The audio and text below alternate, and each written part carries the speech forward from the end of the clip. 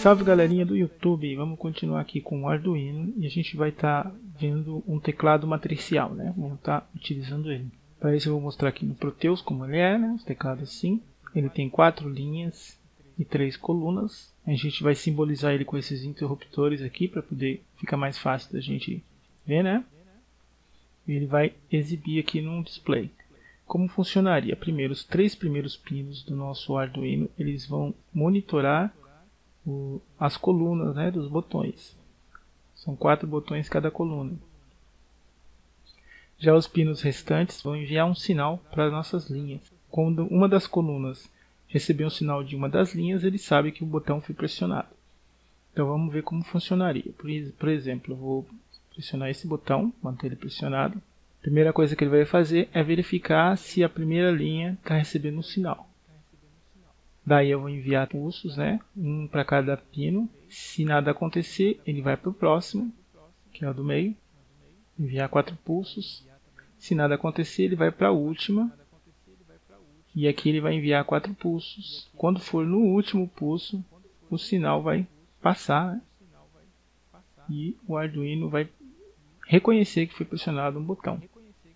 Como ele vai saber né, qual dos quatro botões foi pressionado? porque a gente vai estar no número 4. É só a gente utilizar esse valor para reconhecer qual botão foi pressionado. Vamos ver como é que é no esqueminha aqui, no sketch. Então, beleza. Inicialmente, a gente vai estar mexendo com matrizes, né? Uma matriz ela é parecida com um vetor, só que ela tem mais posições. Mais posições, cabe bem mais dados, né? A gente tem que tomar cuidado porque um microcontrolador não cabe muita coisa, então a gente pode estar estourando aí os, a quantidade de dados. Aqui é bem pequenininho, não vai ter problema, né? A gente vai utilizar como byte, é para ocupar menos espaço possível aí. E vamos estar guardando aqui os, os números. Eu não preciso, posso colocar tudo numa linha só, mas eu coloquei assim porque fica parecido com o nosso teclado, né? Fica mais fácil da gente identificar. Já, já. Aqui no nosso setup, vamos ver essa linha. Tá vendo aqui no nosso sketch? Então vai ser o seguinte: quatro linhas e três colunas. Assim como o vetor, uma matriz ela também começa pelo zero, não pelo número 1. Nossa primeira coluna vai ser o zero, segunda vai ser o 1 e a terceira vai ser o 2. A mesma coisa para as linhas, né? A primeira linha vai ser 0, segunda 1, terceira 2 e a quarta vai ser o número 3. Está guardado esses valores aqui, não, não tem tanta importância, mais para poder exibir no display. Né? A gente vai ler lá com um port. Void setup, a gente vai setar os pinos a gente vou criar aqui um laço for, dois laços fors. O primeiro vai de 0 até enquanto for menor que 3, então vai ser de 0 a 2. E ele vai setar os, os pinos como entrada, né? Os pinos 0, 1 e 2 como entrada. E eles vão estar ativado o resistorzinho de pull-up. É aqueles três, as três linhas que a gente viu aqui, né? As três primeiras linhas. Beleza. Já o segundo laço for, ele vai de 3 até 6, né? menor que 7, 6. E vão estar todos como saída. Né? São os demais pinos aqui que vão mandar sinal para os nossos botões. Já aqui eu vou estar setando todo o porte B, né? todos os quatro pinos como saída para poder a gente ativar o nosso display. Né? Aqui o nosso porte B e o nosso display está sendo controlado ali, display BCD. Já, já. Agora vamos para o programa. Né? Aqui a gente tem dois laços for, de 0 até menor que 4, né? O segundo de 0 até menor que 3. Então vai ser 4 vezes 3, vai ser 12, vai ser as nossas 12 possibilidades aqui para verificar os nossos 12 botões. E ela é o seguinte: inicialmente eu vou colocar i, né? No caso do i aqui vai ser 0, 0 mais 3 vai ser o pino 3 como baixo. Então o sinal já vai ativar o nosso botão. 0 mais 3 vai ser 3, né, que é o nosso primeiro pino que vai receber um sinal.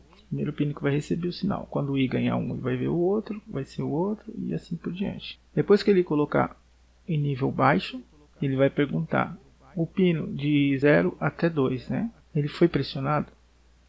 Se for verdade, então ele vai exibir no display para gente o valor que tem o nosso botão IJ.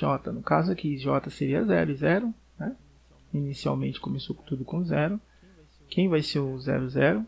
Vai ser o nosso primeiro botãozinho aqui, o botão 1. Então vai ser esse aqui. Coluna 0 e a linha 0.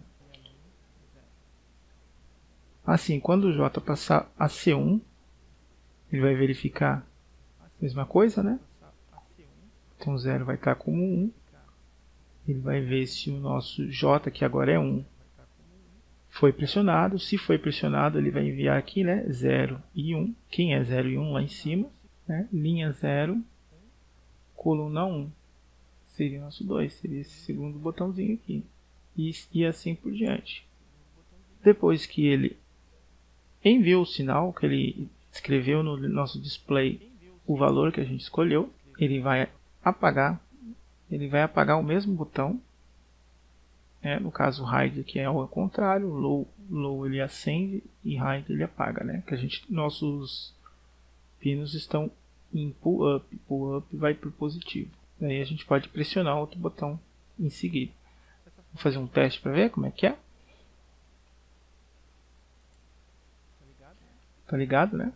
Ele tá mandando pulso para todos os botões se eu pressionar aqui, por exemplo, um, dois, três e já está funcionando direitinho aí. É uma forma multiplexada para a gente estar tá utilizando botões aí. Dessa forma a gente está utilizando um byte, são menos ainda, né?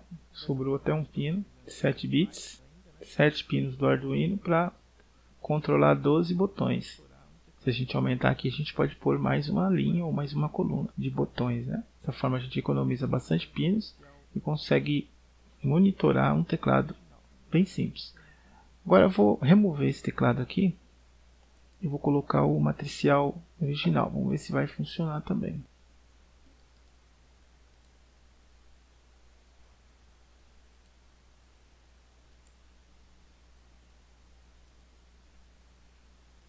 Belezinha, funcionando direitinho.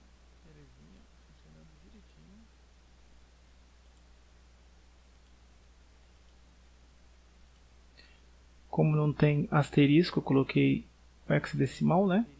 Funcionou bacaninha. Então, é isso aí. Espero que o pessoal tenha gostado aí. Entendido. Até a próxima aí, galera. Inscrevam-se no canal. Quem gostou, dá um like. Valeu.